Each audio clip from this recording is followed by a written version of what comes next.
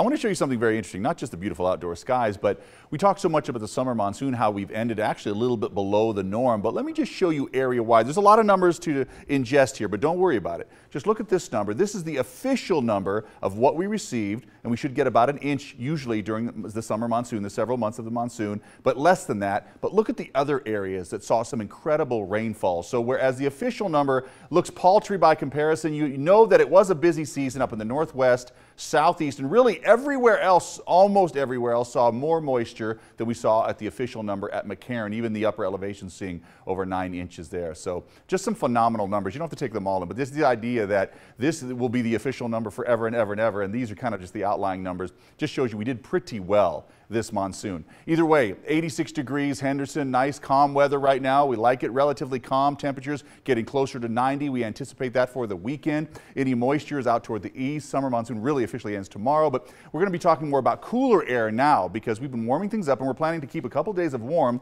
but we're going to get the jet stream slipping just far enough to the south and maybe sticking around enough through next week to bring back those 80s again. So warm, yes, but not too warm, and I think a lot of people like that.